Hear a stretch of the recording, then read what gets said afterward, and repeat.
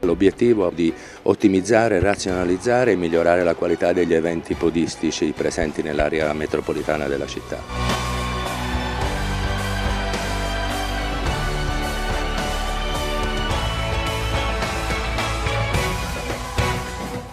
Promuovere attraverso lo sport l'immagine della città è l'idea che ispira Napoli Running, il progetto presentato questa mattina a Palazzo San Giacomo, nato su impulso del sindaco De Magistris. L'iniziativa nasce per dare particolare risalto alle manifestazioni podistiche che coinvolgono non soltanto professionisti ma amatori e turisti provenienti da tutto il mondo e rappresentano un'importante occasione per scoprire le bellezze partenopee. Del circuito Napoli Running fanno parte la Coast to Coast Sorrento Sorrento Positano Amalfi prevista per il prossimo 14 dicembre, la mostra d'oltremare Half Marathon al via il 1 febbraio e la Maratona Internazionale di Napoli il 15 febbraio. Diverse le finalità del progetto che vuole coinvolgere soprattutto i giovani per sensibilizzarli ad uno stile di vita sano.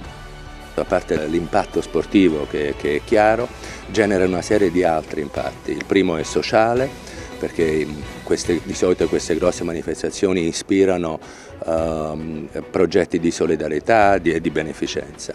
Ha un impatto sulla salute, nella nostra città abbiamo un problema di obesità dei giovani, quindi speriamo che questo possa ispirarli a muoversi il più possibile, è un, un impatto chiaramente economico